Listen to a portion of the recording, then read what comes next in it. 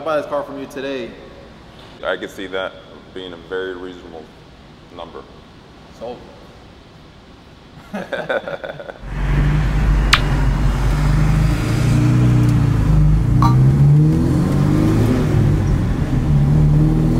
And we're back. My favorite day of the week is car video day, and we're excited to introduce what we have here. My name is Gaston Rossato. And I'm Renzo Rossato, and bear with me as I introduce this amazing car we have for this week. It's the Alfa Romeo Giulia Sprint Gran Turismo Veloce.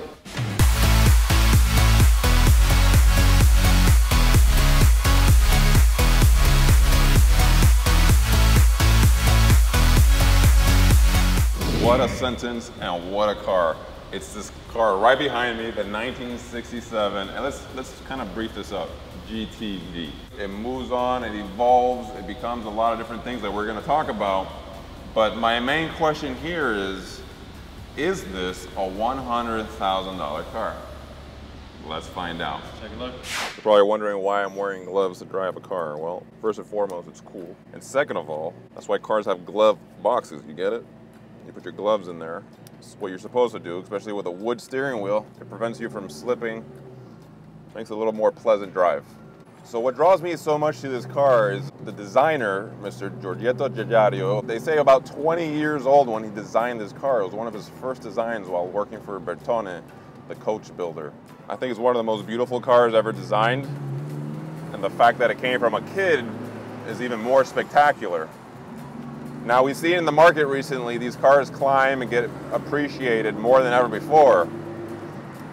It seems like auction after auction, we're getting higher and higher prices for some desirable cars, which leads me to believe that this will soon be, in the very near future, a $100,000 car, no doubt.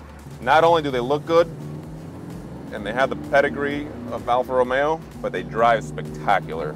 Like I said, it is a true sports car. The braking power, the acceleration, the handling, putting the whole thing into perspective, right? We're talking about 1967. This is not your modern day sports car. Keeping that mentality, you can truly appreciate and drive this car for what it's worth and have a great time doing it.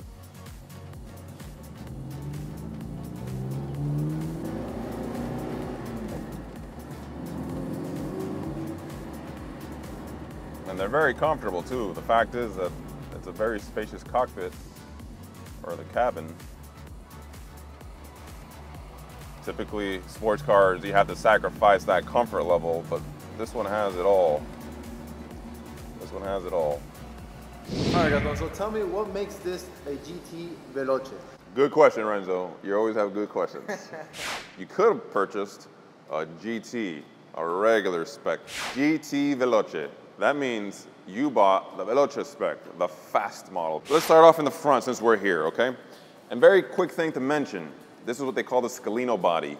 It is called that because Scalino in Italian means step. They call it the step nose because it has this cutout right here. It looks like the hood is open, but in fact it's not. Very important distinctive features on the, that you'll only find on the Veloce. You can spot it out like that. One, it has the black mesh grille with the three horizontal lines coming across the whole front end. Two, it has one, two, three, four, five, six, seven bars versus six, which is not easy. You gotta sit there and kind of count them.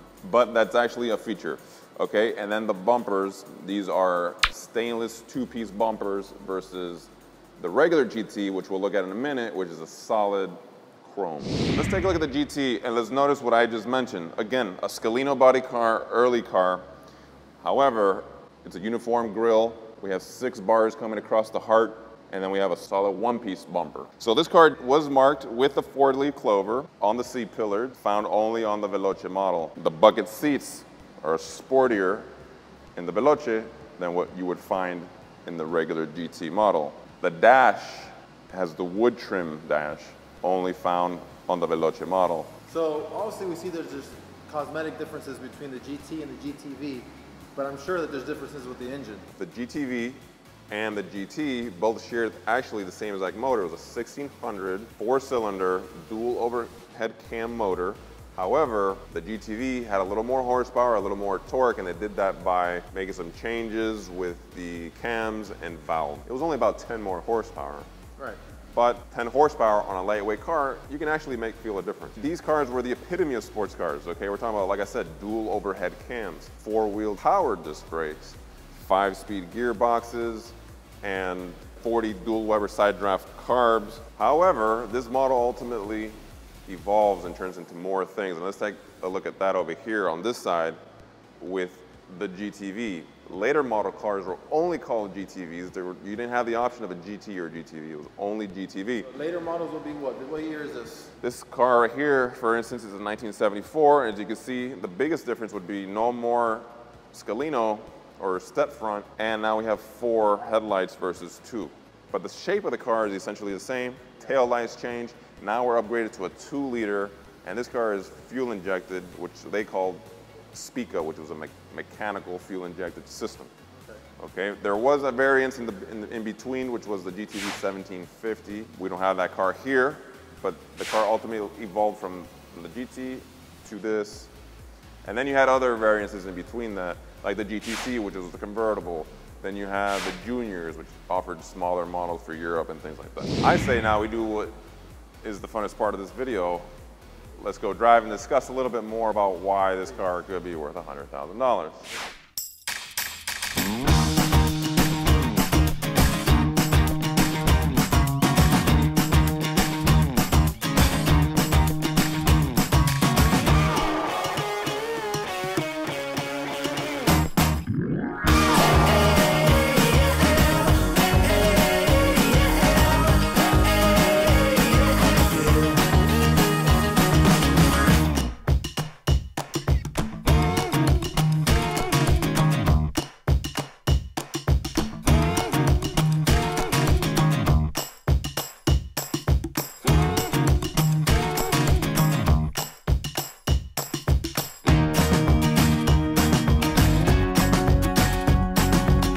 And we're back, guys. It's always a good day when you have the opportunity to drive these cars. It's a car that checks off all the boxes on a collectible level. It has the styling, Italian pedigree, hard to come by, supply and demand. Boom, $100,000 cars before you know it. I'm saying it right now. I think you're totally right. I think it's gonna be a car that's gonna be worth $100,000 within the next couple of years. I mean, that car is super fun to drive. It makes you want, you know, weave in and out of traffic and down. It's a sports car. It's, it's the epitome of a sports car. I can imagine that thing back in the 1967. It must have been top of the line. Oh, it Amazing. really was. It really was. Guys, please, there's a lot of back end stories happening, so you have to follow me at the Barn Miami and at Gaston Rossato, okay? You'll see that the way I buy and I trade these cars on a daily basis. Don't miss out. Follow me at Renzo Rossato. Please make sure to like, subscribe, and share this video. And we'll be back here next week. Peace.